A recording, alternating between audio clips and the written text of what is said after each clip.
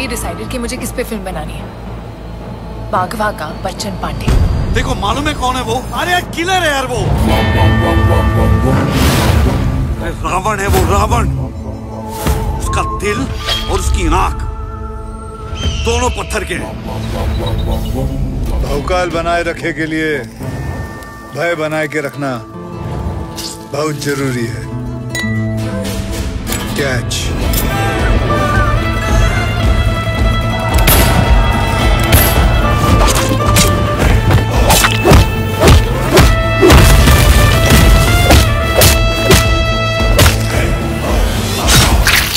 तो मेरा साथ नहीं देगा। नहीं। तो मतलब मेरी फ़िल्म में रोल भी नहीं करेगा। ये सेकंड हीरो ही होते हैं जो मेन हीरो को खा जाते हैं। वो अपना मुन्ना भाई एमबीबीएस पे सर्किट याद है तू भी ना। चल पहले बच्चन पांडे के चमचों को पकड़ते हैं। ये है कांडी। अजीब गरीब कांड करता रहता है। ये पेंडुलम है। ये बेवड़ा लव पिंकी से और लफड़ा हर किसी से करता है। साले की ऐसे घूरेगा ना तो आग फोड़ देंगे। ये बफ बफ बफ बफरिया चाचा है। मिरिंडा माजा। का पिए मरिंडा? या माजा? तू मादर। ए मैं बच्चन पांडे से डायरेक्टली बात करूँ क्या? ज़्यादा लपर टपर किया ना यही गाड़ देंगे। मैं बस आप पे फ़िल्म बनाने आई थी। जैसे वो सत्या सरकार गैंग्स ऑफ़ वसेपुर वैसे बच्चन पांडे अब तक आपने कितने लोगों को मारा? आपका पचास हम सबका बीस। टोटल सत्तर हो गया भैया जी। और इन दोनों को मारे होते तो बहत्तर हो जाते। और ये हमारे गुरु जी हाँ?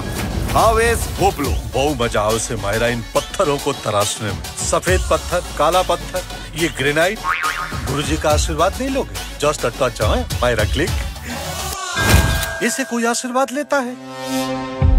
जब हमारे पिताजी कैंसर के लास्ट स्टेज पे थे और मेडिकल वाला पैसे के बिना दवाई देने को तैयार नहीं था हमने हथियार उठा लिया।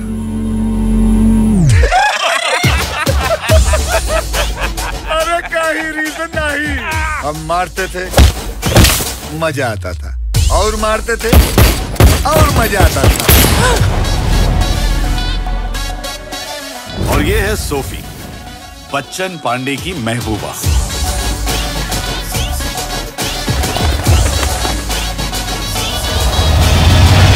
उसने अपनी गर्लफ्रेंड को मार दिया। तेरे को और मेरे को क्या करेगा ना तू सोच भी नहीं सकती है। घोड़े लग गए। घोड़े नहीं लोग पता है मुझे तेरे सामने बोल नहीं सकता।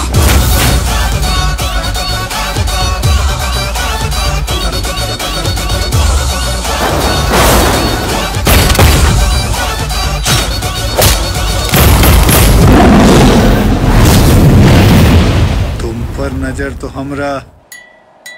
पत्थर वाला आँख ने भी रखा था। प्लीज़ हमें छोड़ दीजिए।